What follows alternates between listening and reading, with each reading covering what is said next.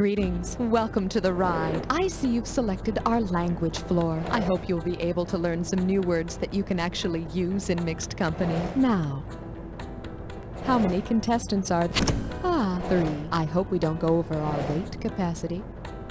Is this the first ride for any of you? Oh, good. It's always fun to share the ride with a newcomer. We will also be sharing some instructions so you won't get lost along the way, so pay attention. Player 1, how many languages do you speak? Thanks a lot. Player 2, how- thank you very much. Player 3, how many languages do you speak? Yes, thank you. Player 1, feast your eyes on the letter Q. This is your buzzer. That's Q, as in Qbert. Player 2, please use the letter B as your buzzer. That's B, as in Beulah. Player 3, you'll be using P as your buzzer. P, as in Prairie Oyster. Enjoy the ride. See you at the bottom.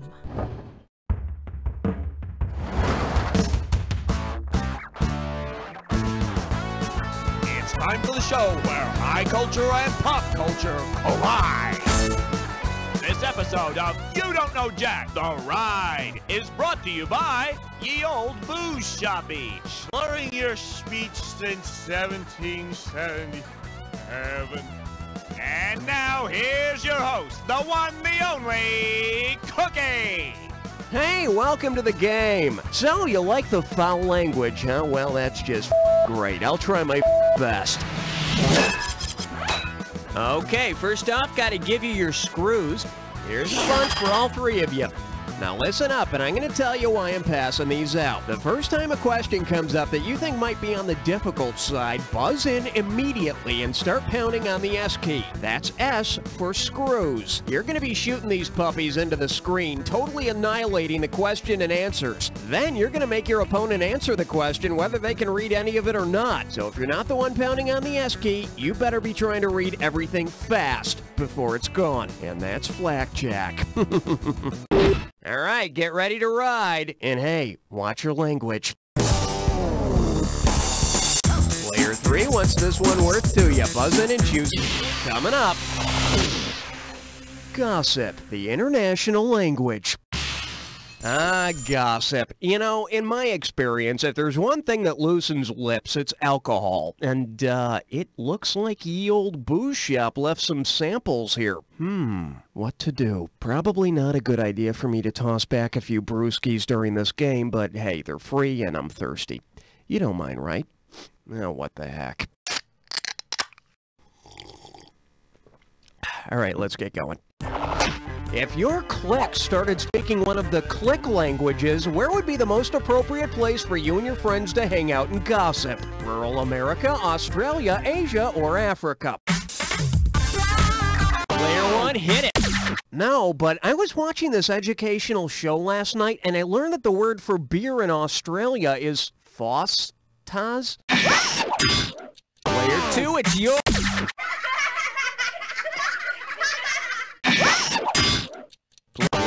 Make it. Uh.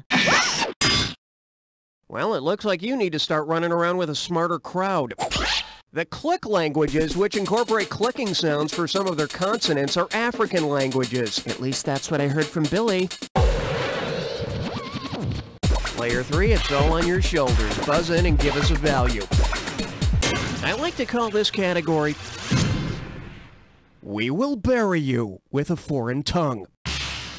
Okay, prepare yourself. $3,417 is on the line here. And the question is, suppose English language episodes of Kukla, Fran, and Ollie were to be broadcast in Russia. If heard by Russians who didn't speak English, what would the title sound like? Doll blah blah blah blah, mother blah blah. All yours, player. Kukla is Russian for doll. And I'm guessing Russian viewers of Kukla, Fran, and Ollie will be thrilled. These are probably the best special effects they've ever seen. Player one, you have the honors. I think we can work with that, and here's your category. Watch your language. Okay, get ready to buzz in and type out your answer on this one. If you had to type the subject of this question, what word would you type? Your move, player two. Well, this is going to be a buzzkill. Player, here you go. Whoa, whoa! Player one, what do you say? Yeah, let's see what you got. And if you look to your left, you'll see the popular wrong answer. It's all about you. You is the subject of the question. In it, you is doing the action. Jeez, I thought I was the one drinking around here. Okay, player two, what's this one? Well, player two, you could pad your wallet here a bit or burn a hole in it. Your choice. Player one, player three, step aside. Player two, it's or dat time. And this dis or dat questions category is a picture's worth a thousand ones and zeros. Okay, I'm going to show you seven words, and for each one, I want you to tell me if it's a computer language or a spoken language. If computers speak it, press 1. If people speak it, press 2. If you're kind of clueless, hit 4. You're going to get some money for each right answer, and you're going to lose some for each one you get wrong or that you don't get to. Okay, you have 30 seconds to get all of them, and keep an eye on the wire. When it fills up, you're done. Let's do it. Basic computer spoke. Arabic. Sanskrit. Cobol. Algol.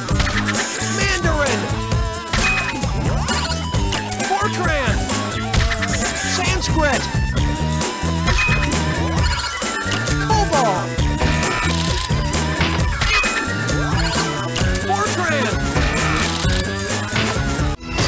Well, you got five right, which is sort of like, eh, eh, you know what I'm saying? Well, let's throw that cash into your total. Player two, you got the lead. Okay, player three, hit your buzzer. Here's your category. A royal pain in the patoot. You ready? Let's go. In what activity would the Queen's English do her the most good? Doing shots, shooting pool, playing cards, or chewing tobacco? Player one.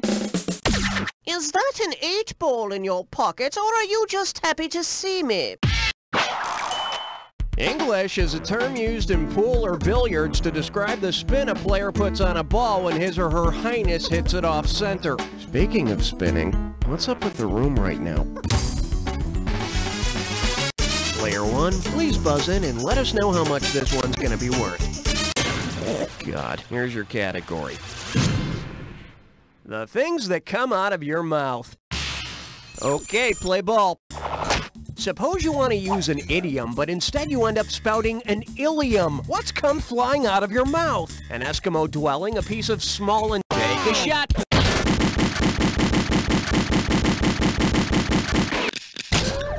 Oh, All right, player one, time to play multiple guess, because you've just been screwed. You picked two. You sure about that? Well, it's too late now. The ileum is part of your small intestine, and I'll tell you, spitting it out makes for a really sparkling dinner conversation. So then I says to him, I says,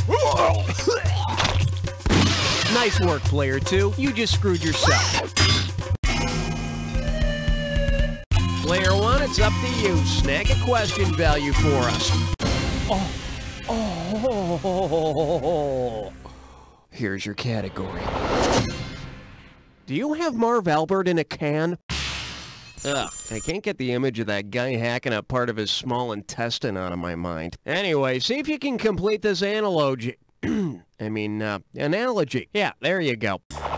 Marv Albert is to yes! as Fat Albert is player two. Grab it. Yahtzee. Marv Albert says Yes! Fat Albert, no relation, says Hey, hey, hey! Player two. What's this one gonna be worth? Hit your buzzer and tell us.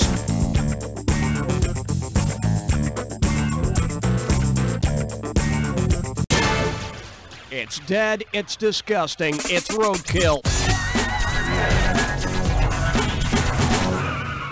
Okay, let me explain how this game works. You're gonna see different pairs that are somehow related, and you're gonna get a bunch of items that may or may not connect the pair.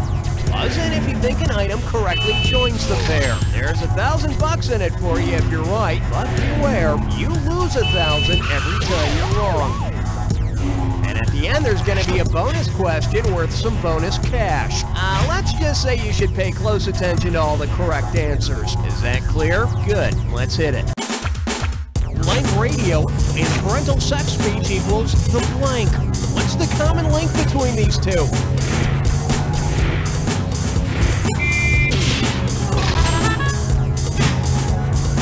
Fish equals blank fish and charms blank pop.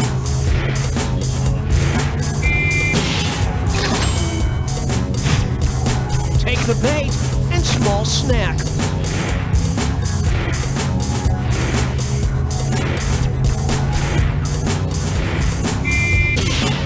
Score. Family affair butler and Blank's mustard.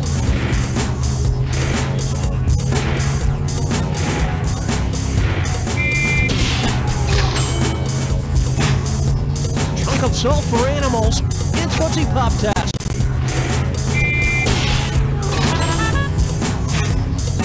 Wookie blank vodka and blank the fat.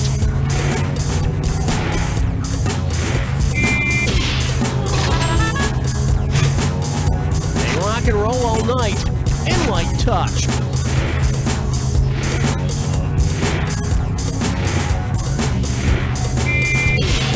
Score. Okay, it's bonus time. What do all the correct answers have in common? Are they all foul language? What do you do with your mouth? Player two, money in the bank. They're all things you do with your mouth, like drink. So here's to you. Player two's our leader. Okay, here we go. Player two, pick us a question value. Your category is Speak slowly. They're not from around here. Yeah, s- slow it down a little. I'm just, you know, I just, I just need you to slow it down. Imagine as player three, do it. Oh, wouldn't you know it? You're wrong. Maybe next time you won't buzz in so damn fast.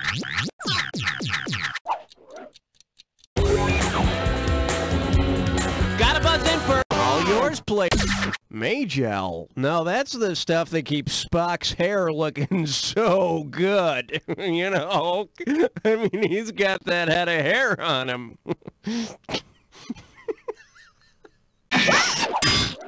Make player two, it's you. Lincos is um, it's a language that was was created in the the 1960s that supposedly allows us to communicate with any being anywhere in the universe. So when they make jokes about toilet paper and, and Klingons, everyone will get it. Toilet paper, Klingons.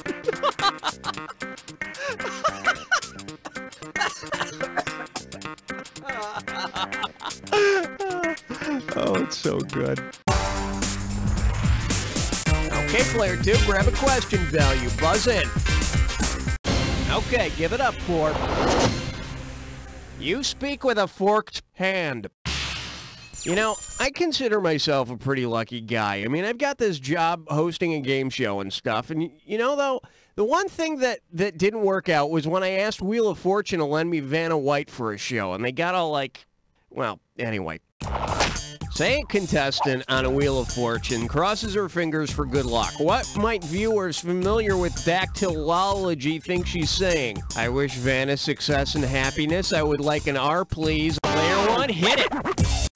In dactylology or finger spelling, you make an R by crossing your first two fingers. And if she has her middle fingers extended toward Pat, well, we can all guess she won't be returning for tomorrow's show. Okay, player one, pick a winner.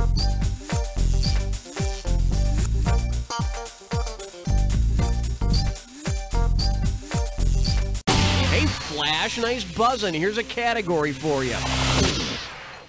Guitar rock of ages. Yeah, man, all right, rock and roll, woo! Okay, if if all the music on classic rock stations had to be, it, it has to be, it doesn't have any choice in the matter. Player three, make it happen.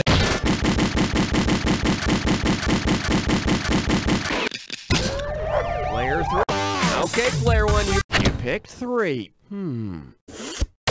Old English. Come on, be nice. The, the Who haven't been around that long, but I've always felt a, a deep connection with Keith Moon. Yeah, Keith! player two, player two, grab it! All right, class, translate the following. Hey, hey, mama said the way you move gonna make you sweat, gonna make you groove. Latin and Greek are known as the classical languages. Rock! Player two, hit me! Okie doke, let's check out the category. Dry heaves sound worse than nails on a chalkboard. Um, yeah, dry heaves. Oh, God. Ugh. Okay, okay, let's just let's just get through this question. Everything's everything's cool. Everything's cool. Which of these slang terms for regurgitation is not a good example of on onomatopoeia? Barf, hurl, player one. Billy? Here. Sarah? Here. Raoul? Uh, he's not here. Player, player two, it's yours. Onomatopoeia is a word that imitates or uh, mm, it sounds like the, the, the, the object or the action or whatever. Oh, I tried to hold it back. Okay, let me tell you something. Upchuck is is definitely not the sound that happens when you throw up. Mm. When did I eat corn? The makers of You Don't Know Jack would like to remind you that excessive drinking on the job can only lead to emotional torment and physical pain. All right, player two, buzz in, give us a value.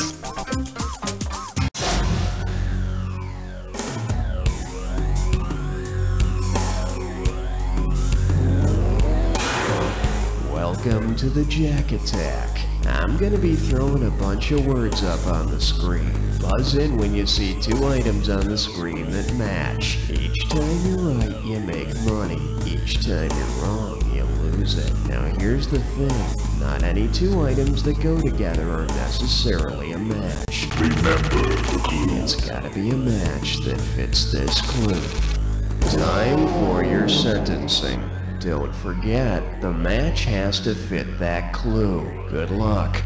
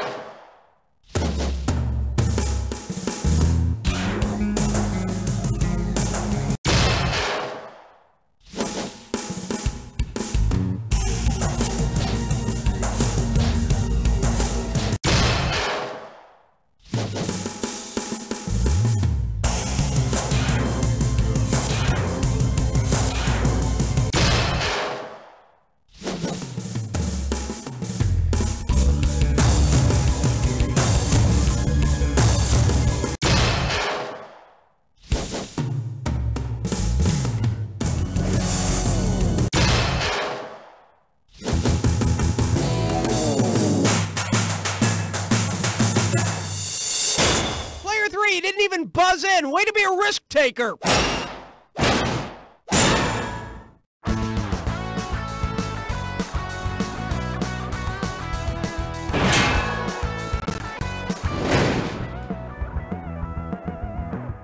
This week on the James Brown Celebrity Scrabble Tournament, the Godfather of Soul takes on former child star Rusty O'Dean. What? 57 points. H W U N A W U H? What? That's not a word. In a minute. Jump back. Come on, this minute. isn't Wait, fair. I tell you what, back. Is a a minute. judge? I got the Tuesday after You Hallie? McNeil. One more time. This is for my Baptist minister, who instilled in me at a very young age the evils of alcohol, tobacco, and firearms. This is for the kids at school, who by refusing my friendship, forced me to adapt and infiltrate any and all social cliques. This is for my older brother, whose bad taste in music gave me a CD collection large enough to drive any person under siege insane. I'm proud to be an officer for the ATF. We raid more homes and violate more constitutional rights by 9 a.m. than most criminals do in a day.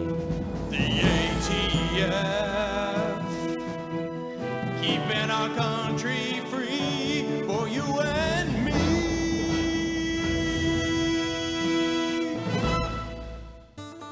Bring nature to your bathroom with Twigs and leaves.